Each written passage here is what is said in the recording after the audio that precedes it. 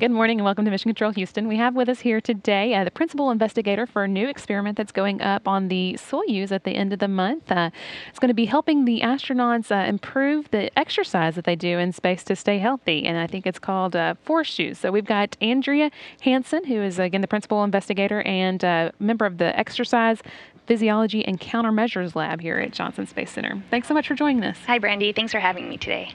So you've, you've got a shoe with you. What, what exactly is this?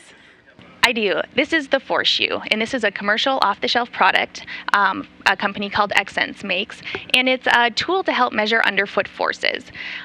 It looks like a goofy sandal, but it's actually a high fidelity research tool. And what it has included here are load cells underneath both the heel and the toe of the shoe that help us measure forces in three different directions and also torque. That's the twisting motion. You can kind of think of it as a high tech bathroom scale. Okay, well, why, why would we need this on the space station? We're really interested in measuring exercise loads on the ARED, the Advanced Resistive Exercise Device. We can use that data in a lot of different ways. Why is why do we care about load? What what is what is that? I guess first of all, and, and why do we care about it? Sure. If you go into the gym and decide that you want to do, say, squat exercises, you're going to put a certain amount of weights on that bar. Well, ARED works in a similar way, except you're now exercising against the resistance of vacuum cylinders. When you dial in a load on ARED, it's not an exact science. So when you dial in 100, you might be lifting at 110 or maybe 90, give or take that 10 pounds on any given day, depending on the performance of the system. Right now, we don't have insight to the exercise load, so it's important that we can measure that using tools like the Force Shoe so we can better understand what we're asking the crew to exercise. And is that something I guess you'll you'll want to keep track on as they as they do their exercise?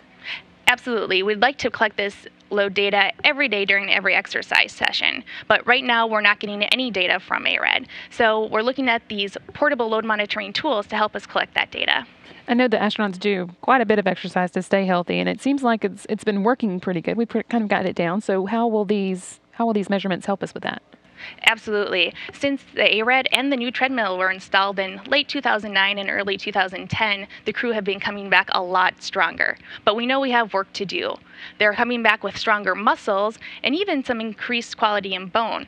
But we're still worried about the strength of their bone and the quality of the, the inside of their bone and how that strength is going to be compromised when they come back to Earth.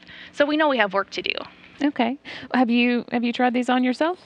Yes, I have tried the shoes on. Um, they are really a pretty comfortable sandal. Um, they're a little stiff, so we don't run in these shoes and we don't do a lot of jumping. But to stand and take a static load measure, they are they measure very accurately. Seeing another picture of them here on the uh, on the screen and a good uh, view of the the force measurement or load measurement uh, devices on the bottom there.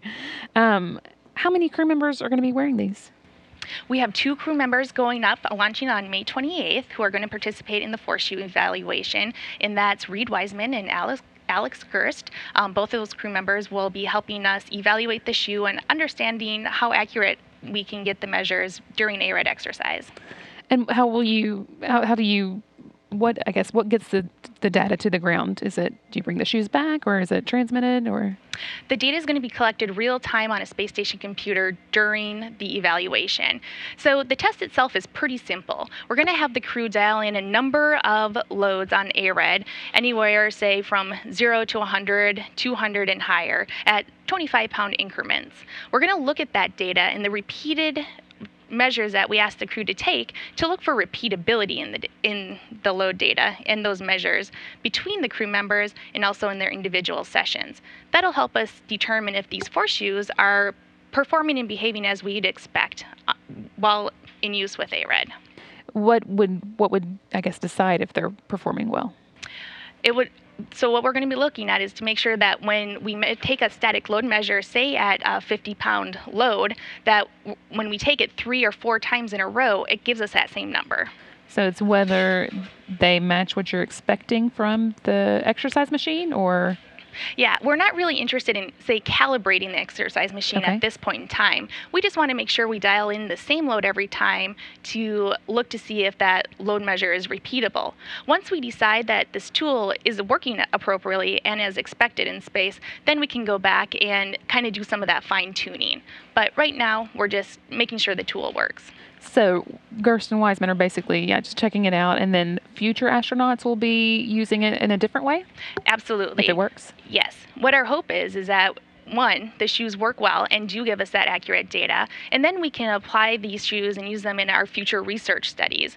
We can use this kind of data to do things like um, evaluate human motion um, and perform the future ARED biomechanics study, where we look at joint motion and the forces applied at different points on the body. So now you said these are commercial off-the-shelf products. Is it something that would be helpful to people on Earth as well, or is it just of interest to us in space? Yeah, it sure could. Right now, we largely do biomechanics studies in laboratory settings. Um, it usually involves a lot of big equipment, heavy equipment that's installed in long gateways. What portable load monitoring tools like the Force Shoe allow us to do is take the science to to the outside, to remote areas like space station, or even out into um, your everyday life situations. So we can look at how people walk around and move doing their everyday activities. Okay, well that's really interesting. Thanks so much, and I guess we'll we'll look forward to hearing how it works out and maybe seeing uh, them more in use on the space station in the future. Sounds great. Thank you so much. Again, this was uh, Andrea Hanson, who is the principal investigator for the Force Shoes experiment that's going up on the Soyuz at the end of the month. We'll go back now to regular mission coverage. Thanks.